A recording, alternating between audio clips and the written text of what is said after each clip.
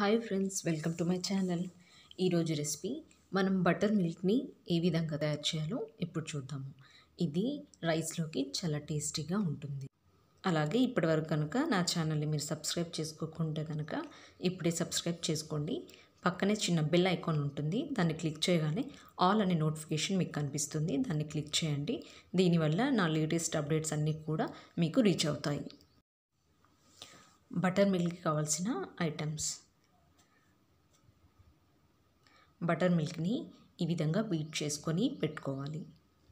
అలాగే పోపు కోసము శనగపప్పు హాఫ్ టీ స్పూన్ మినప్పప్పు హాఫ్ టీ స్పూన్ ఆవాలు వన్ టీ స్పూన్ చిటికెడు మెంతులు హాఫ్ టీ స్పూన్ జీరా.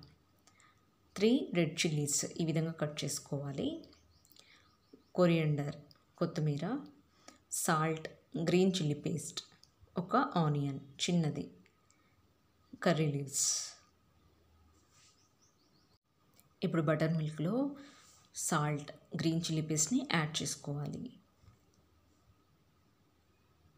యాడ్ చేసుకొని ఇలా టోటల్గా మిక్స్ చేసుకోవాలి.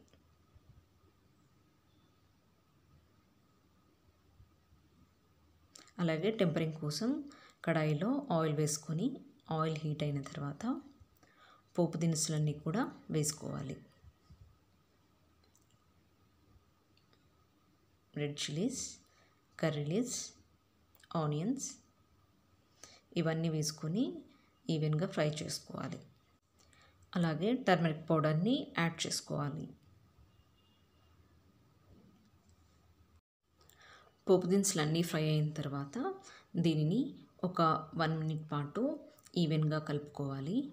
ఇలా కలుపుకున్న దాంట్లో బటర్ మిల్క్ని యాడ్ చేసుకొని ఒకసారి మొత్తం మిక్స్ చేసుకోవాలి.